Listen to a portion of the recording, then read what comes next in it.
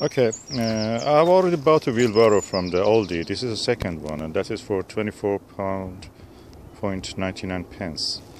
I'm happy with the quality of the whatever bought, and it is small enough to go through the food cage gate and the other gate for polytamous gate. So that's the reason about this.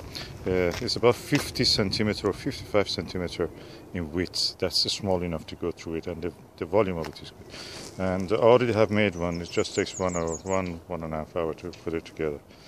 So that's that's the reason you get it cheaper. If you buy it from anywhere else, B&Q, I think it's they sell it 29 pound or 30 pound. Good value. Of course, you have to use your own labor. I'm going now to build it.